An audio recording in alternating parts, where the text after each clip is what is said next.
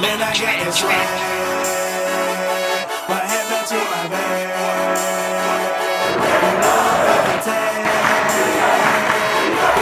I swear when I